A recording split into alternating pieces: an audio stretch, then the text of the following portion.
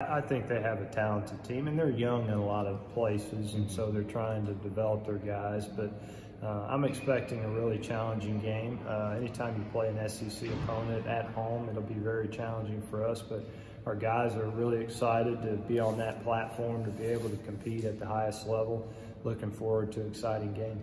We mentioned on Monday just the different quarterback looks, and they've announced you know, John Stephen Jones will start redshirt freshman. Just what are you expecting, whether it's either him or Jefferson, the other guy out there, just the different looks in quarterback you'll see? Well, I actually got to see both those guys last week in the second half when they played Mississippi yeah. State, and you know both the guys did really good job. So they're going to pose a lot of challenges for our defense. They both run really well uh, can create plays. They've got you know good arm talent.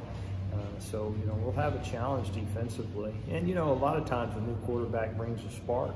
You know, mm-hmm. so I'm sure they'll be excited to kind of play for the new guys and, and try to get something going.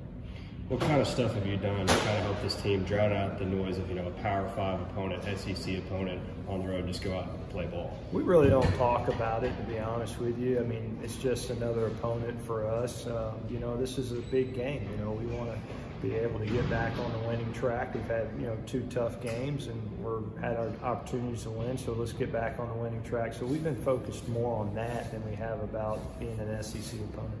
And what kind of stuff have you told Ty, you know, ahead of this homecoming, kind of you know, get him in the right mindset? Not, not, really much. You know, Ty's been, he's an older guy, he's mature. He, you know, he, I'm sure he'll be excited to go home and play in front of his fans and, you know, and, uh, but once the ball's kicked off, you know, it's just a normal game. But uh, Ty's an older guy. He's pretty mature and handles those things well.